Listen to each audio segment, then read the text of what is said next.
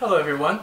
This video is an easy instruction on how to build a birdhouse on yourself with a webcam inside. Well, all the bird lovers, they might set up birdhouses for the birds to nest in. They might wonder if we can put like a webcam inside to watch what's going on inside. Well, the answer is yes. Uh, you can find the blueprints to build a birdhouse online. We don't have a, a detailed instruction here. Now let's take a look at the materials and design for the birdhouse we want to build. First let's talk about the materials. The materials we usually recommend to use untreated materials so that way the wood will not contain you know some harmful chemicals to the birds. And the wood we use here is cedar. We usually recommend cedar and redwood. These two are the most close to natural woods and they are weather resistant so like it can handle a lot of different weathers. If you can't find cedar or redwood, you can use some pine as well. Although pine doesn't last that long like these cedar and redwoods.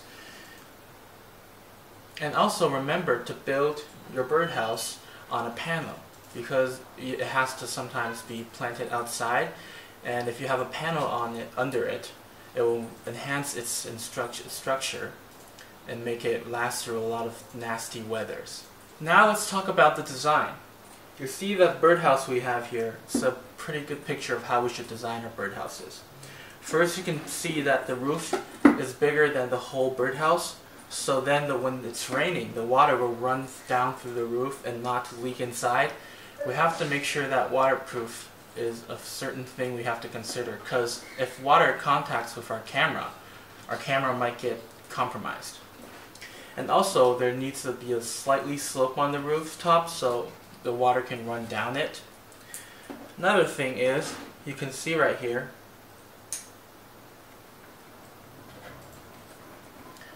Another thing is, you can see right here, there will be some gaps when you close the roof.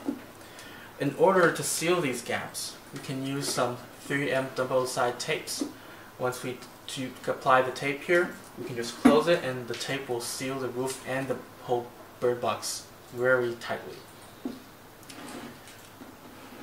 And also, right here you can see our camera.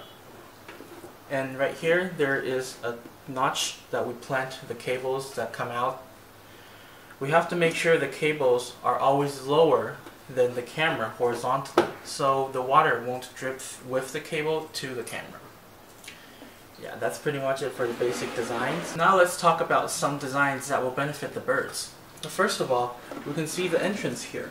The entrance here, we have, there are three different common sizes.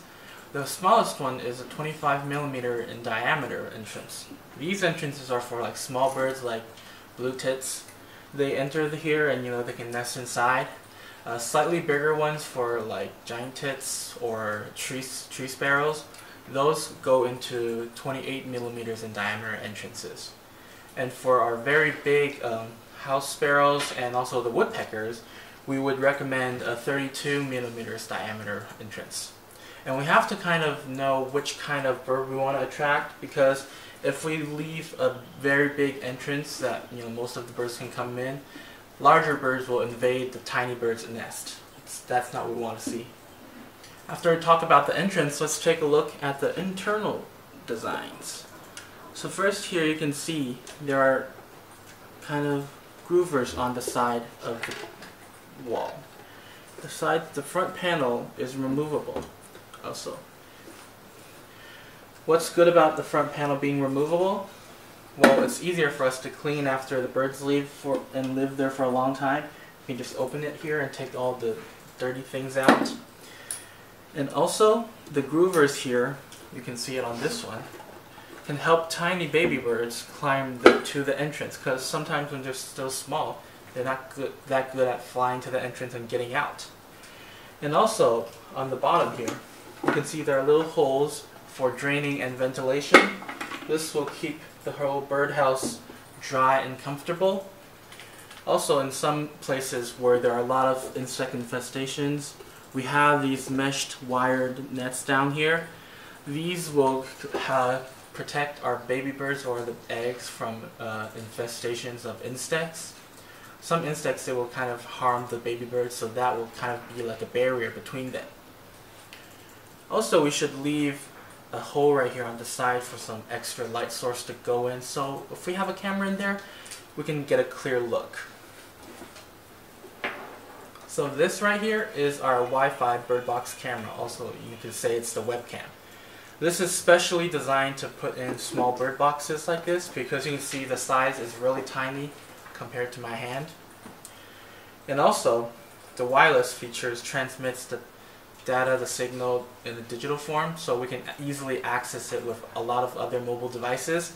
And also, the digital signals allow the image to be very high definition resolution, so we can get a very clear image of the birds. Even close closest up, we can watch how detailed the feathers are. And as for the camera, there are four infrared LEDs around here. So when it's dark around, some birds might still be active.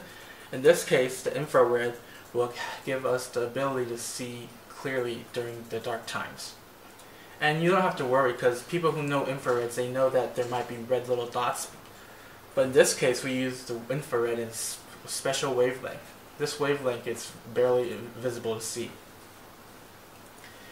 Also, we have microphones built in this camera. So the microphone allows us to hear the tweeting of the birds. So you can also hear the joyful tweets while watching them.